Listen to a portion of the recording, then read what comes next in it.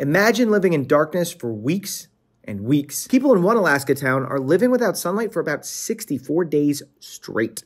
Utqiagvik is experiencing what's known as polar nights from now until the end of January. It's when there's no sunlight for over 60 days. It's about two months when you think about it. And it happens every winter. Darkness, freezing cold, and average temperatures are below zero. It's because of how the Earth tilts on its rotational axis. Some regions in the Arctic Circle will face away from the sun for periods of time. So, what do you think it's like for the roughly 5,000 residents? Well, for one, it's not always pitch black. They have something called civil twilight, where the sky can turn a shade of purple for part of the day when the sun sits just below the horizon. And they stock up on food and other necessities that are really expensive during this time. A case of water could be up to $50 there, so you gotta go grocery shopping in other Alaskan towns. Otherwise, people are pretty much used to it. And then get this when summer comes back around, they have polar days with 24 hour daylight. If you want to know more about this or anywhere else in the world, let us know now in the comments.